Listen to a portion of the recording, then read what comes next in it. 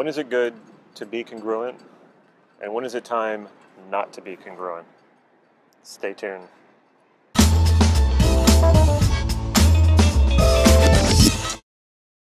Damon here with NLP Gym. NLP congruency the benefits and also the dangers.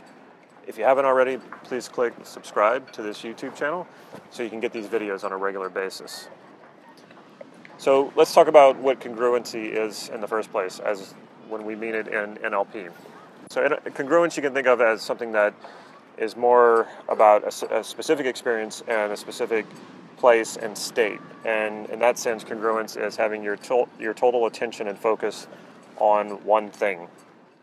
So if I am um, enjoying um, just vac- my vacation, it means my mind, my head, uh, my, my presence is in that vacation and only there, and I'm very present to that experience. Or if I'm writing, or if I'm in some sort of creative pursuit, or even some sort of work, um, that means all my attention is on that. I'm not thinking about all the things I should be doing or could be doing. Um, there's no other noise or distraction. My undivided attention is on that thing. So that, in one sense, is being congruent. Another way of being congruent is um, my my actions and my behaviors are aligned with the way that I think, the way that I believe, the way that I speak, what I tell people about myself. And they're aligned with my values, and I'm not inconsistent. I, I say what I do, and I do what I say. That's a way of thinking of congruency. And when I'm coaching someone and I ask them a question, I look for congruency in what they're saying to what their body is telling me. So, say we begin with a problem, and at the end of it, I might ask, Is the problem resolved? Do they still have some issues with it, or are they whatever it is they want to be? And if I see any hesitation and they still say yes, but they're hesitating, well, that's incongruent. It's not their word what they're saying isn't really matching up with their physiology. Basically, if it were a congruent yes, they wouldn't hesitate. Their body wouldn't shift or anything. It would be their body would say the same thing as what their words are saying. So I look for that when I'm coaching. Um, I look for that in sales. Uh, if somebody's hesitating or somebody's not, you can tell they're not quite feeling it, but they tell me the opposite. I know there's more work that needs to be done. So we want full commitment in something you need to be congruent to do that.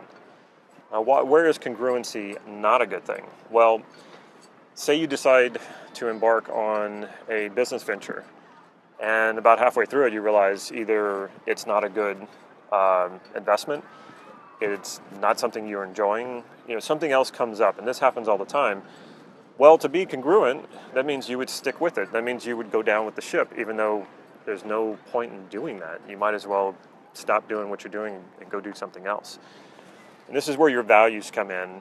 Uh, are you aligned to those values? If we're congruent all the time, let's take the state thing for, you know, if we're talking about a, uh, an experience, if we're congruent to that experience and we're kind of stuck in that experience and we can't shift out of it when we need to. So if I'm on vacation and I'm very present to that vacation, but then some sort of emergency happens and I need to go do something else and change my mind, in that time, I have to be incongruent for a little bit and step out of the vacation and step into the emergency. But if I was 100% congruent to the vacation, then as long as I'm on that vacation, I'm ignoring any outside emergencies, and that might not be a good thing. It'll take you several tries and take you evolving into figuring out what it is you want to do instead of just sticking with it. And I see this all the time in young people. It's it's something I dealt with, and I see a lot of people, young people, dealing with it. They've been groomed from the time that they were a kid to believe that they were going to be a lawyer or a doctor or something like that.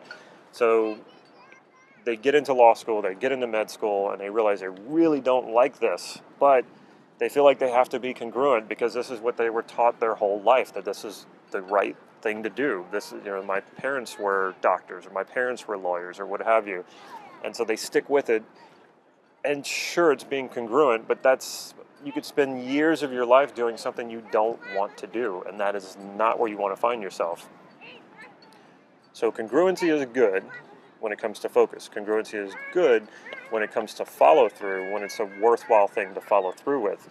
But if it's not really who you are and if it doesn't serve your values, being congruent can waste years of your life. And we all know that we don't want to do that. we want to we want to get into something and and it takes commitment, it takes follow through to succeed at something. And it doesn't mean that just by being congruent it makes it easy. It's not necessary. That's not necessarily true. Sometimes, and it doesn't mean that you should quit just because something is hard. But are you enjoying it? Is it worthwhile? Is it paying off in some way? It, that should tell you whether or not you should follow through with it. Outside opinion, other people telling you what you should do and trying to stay congruent to that, that's going to get you into a lot more trouble. So listen to what's going on inside of you. And sometimes it's time to not be congruent and break out of something and go do something else. Check out our website, nlp-gym.com. Follow us on Facebook, and if you haven't already, please subscribe to this YouTube channel so you can get these videos on a regular basis. On Facebook, you can get updates on our trainings in real time, also free practices that we hold. And remember, in one month, we have core transformation. This is likely to sell out.